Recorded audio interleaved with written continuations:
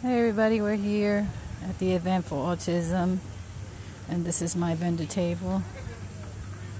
Show you what I got. Real cool, says little sale. Selling t-shirts. Handmade. Shawl. I got my Halloween dream catchers there. I got all my jewelry as you can see one piece earrings for the bikers and lady bikers. Pins. Real quick. I made this pouch bag.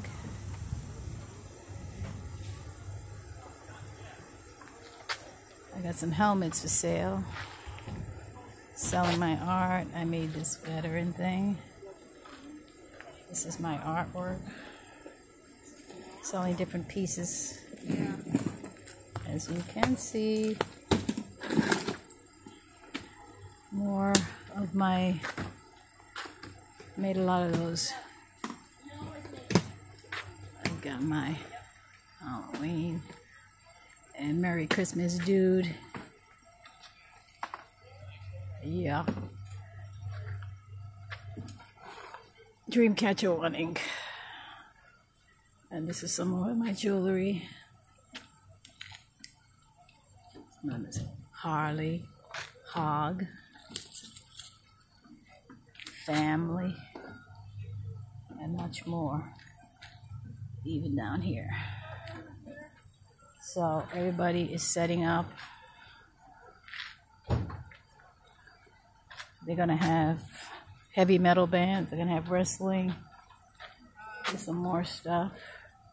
Some dollar bracelets. My prices are very reasonable. And as you can see,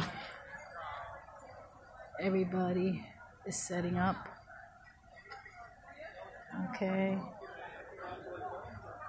And you got um, under my skin tattoo uh, back there and many vendors. Vendors everywhere. They're setting up. Everybody's setting up. So we're going to be here till 6 p.m.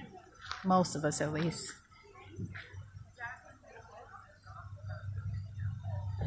So, anyway, this is my tent. I got my tent. Thank goodness. So this is a fundraising event for autism, and um, I'm doing it, of course, to make a little side cash, but also I'll be giving you know little surprises here and there.